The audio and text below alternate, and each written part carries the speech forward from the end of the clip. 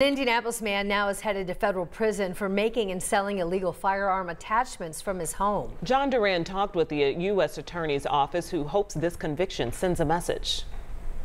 Micah Moore was sentenced to seven and a half years in federal prison for making homemade machine gun conversion devices using a 3D printer.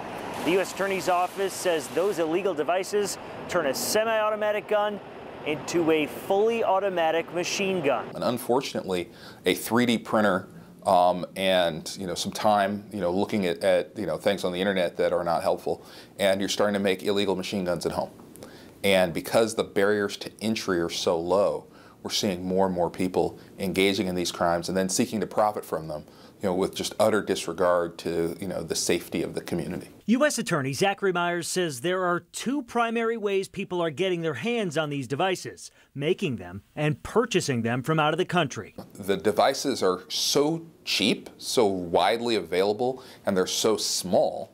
You know, a lot of the things you hear about in the crisis, you know, for example, with fentanyl that you know that combination and the combination of significant supply overseas and the ease with with which someone can be violating the law by doing this at home. So you know just naturally.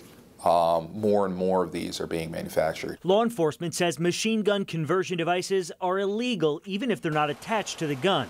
Getting caught with one could land you in state and federal court every time you manufacture one of these, you are making it more likely that ATF, FBI, IMPD, that some law enforcement agency is going to knock at your door and you're going to walk away in handcuffs. It's not worth it.